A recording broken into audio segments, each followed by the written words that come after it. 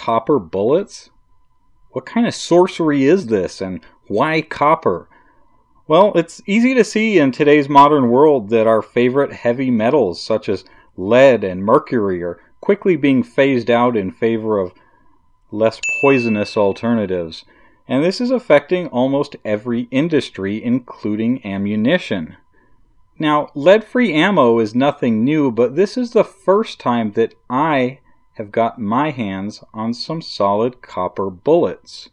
I found them just like this a lonely partial box sitting in the bargain bin of my favorite gun shop. Up in the corner here it says 357 Magnum, 125 grain, SCHP, solid copper hollow point. I decided to dig out the old Smith & Wesson 681. It's got a 4-inch barrel, and I really enjoy the 681. In fact, it's the first revolver I ever owned that I decided to keep. Anyhow, let's fire one of these off into the gel block, see what we get. So that's pretty impressive right there. The expansion was uniform, it didn't fragment, the whole bullet held together really well. Now, copper is much harder than lead, and once expansion occurred here, these little copper fingers seem to slice through the gel. Kind of nasty. Is it more effective than a lead hollow point? I'm not sure. This one round was just a quick test, but from memory, I'm really thinking I've seen more damage, a greater wound channel, from traditional bullets. That's not necessarily the point here, though. This is a different animal altogether, and I would have to say that it performed well. Wow, that really expanded nice. Very uniform, and that is definitely a chunk of copper.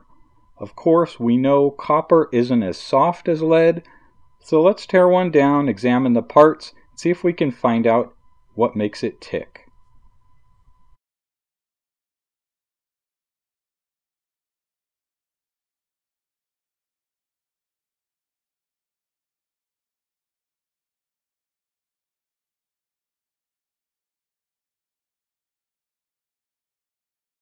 These are loaded in Starline brand brass.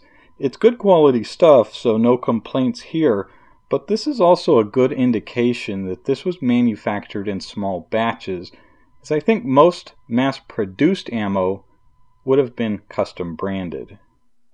The box says 125 grains. Let's see what we've got here. Pretty darn close, 124. Now out of curiosity, let's weigh our recovered bullet.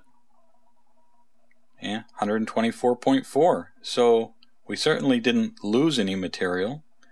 The weight variance might be just a variance in the projectile itself, or it could have picked up some debris either from inside the gun barrel or in the target itself. An initial look at the bullet markings and surface texture tell me that it was either cast or swaged, not machined, but it's down here inside the tip where the magic seems to happen. The secret of expansion is quickly revealed when we look inside the hollow point itself. These six diamonds you see are there to promote expansion, basically weak spots engineered into the bullet. This tactic is common in hollow points. You might remember all of those 7.62 by 39 tests I did and what the inside of some of those bullet jackets looked like. I can tell you in this case that these are absolutely essential to the expansion of our little copper friend here. Okay, here I've cut a cross section of a bullet so we can get a better view of its guts. The expansion points aren't just divots in the material, they are actually kind of a puckered hollow cavity within the wall itself. It also appears that the wall is narrower at the base of the hollow point where it will fold outward. Of course, these are just my observations, and I have no actual previous experience with this stuff, but that's what got me into this in the first place curiosity. I like to see the effects of the ammo and understand how and why it works the way it does, especially if it's something a little out of the ordinary like these. Now, In general, I would consider copper to be a soft metal, except when it comes to bullets, where lead has long since been the material of choice, and with good reason. Lead's ultra soft properties allow it to deform easily, and it's also easily melted and cast to whatever shape it is we need, even if it's simply done over a campfire. It's just easy to work with. If we compare the melting points, lead melts at a measly 621 degrees Fahrenheit, that's 327 degrees Celsius, which can pretty much be obtained just by giving it dirty looks compared to copper, which melts at a formidable 1984 degrees Fahrenheit, almost 2000 degrees. That's a little over a thousand degrees Celsius. So we have 600 degrees versus 2000 degrees. What does all of this actually mean? Well, we've seen firsthand copper bullets can be engineered to expand, but I don't think that they'll ever be a home brew bullet. I believe they certainly have their place as a commercially manufactured bullet, but at home, lead is cheaper and easier to work with.